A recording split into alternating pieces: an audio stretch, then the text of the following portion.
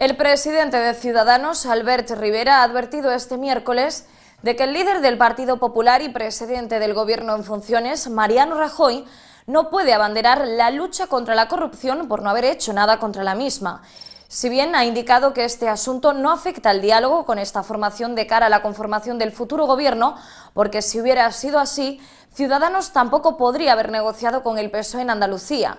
En una entrevista en Canal Sur Televisión recogida por Europa Press, Rivera ha dicho que Rajoy no ha sido imputado por la justicia y sí su partido como responsable subsidiario. Según ha indicado, son más de 7 millones y medio los españoles que han votado a esta formación y no podemos eliminarlos del diálogo y de esta segunda transición.